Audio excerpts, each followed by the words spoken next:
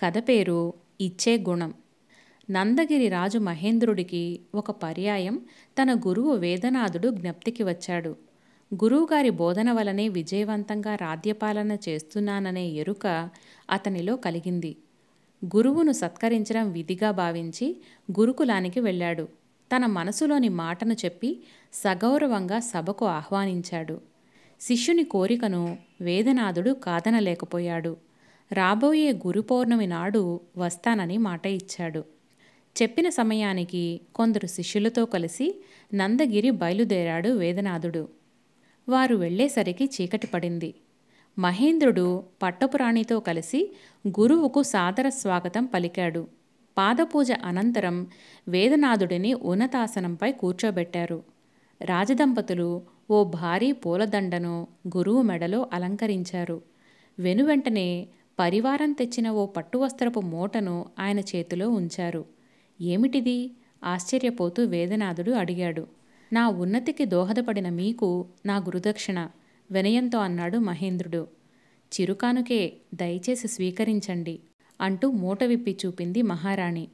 బంగారు నాణేలు వజ్ర వైఢూర్యాలు లెక్కకు మిక్కిలిగా ఉన్నాయి అందులో. అప్పుడు గురువు ఆ మూటను మహేంద్రునికే తిరిగి ఇస్తూ ఒక గురువుగా ఇచ్చే గుణం తప్ప తీసుకొని ఎరుగను.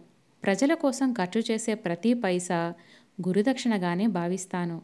నా అంతరంగం నీకు అర్థమైందనే భావిస్తాను.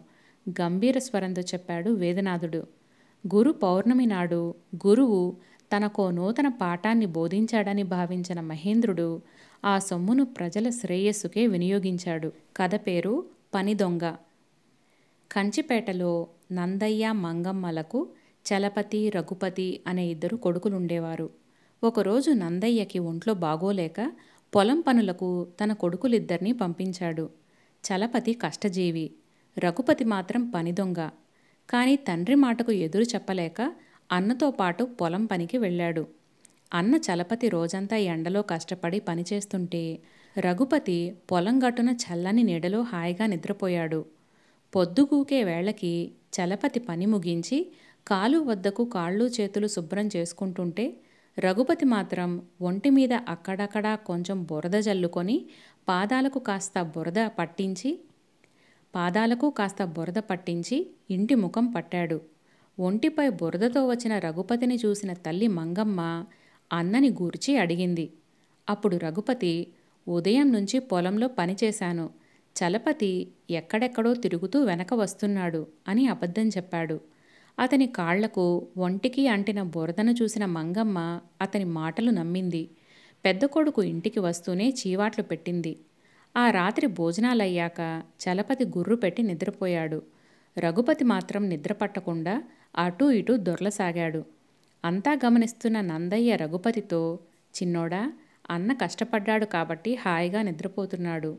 నువ్వు పని ఎగ్గొట్టి పగలంతా నిద్రపోయి ఉంటావు. కాబట్టే ఇప్పుడు నిద్ర పట్టడం లేదు. నువ్వు చాడీలు చెప్పినా తమ్ముడివన్న ప్రేమతో చలపతి నీ తప్పును ఉపేక్షించాడు. అవునా? అని అడిగాడు. రఘుపతి తను చేసిన పనికి సిగ్గుపడ్డాడు. మంగమ్మ కూడా తన తొందరపాటుకు నొచ్చుకుంది. మర్నాడు అన్నతో సమానంగా కష్టపడి రఘుపతి తల్లిదండ్రుల అభిమానానికి పాత్రుడయ్యాడు. మరొక మంచి కథతో మళ్ళీ కలుద్దాం. నమస్తే.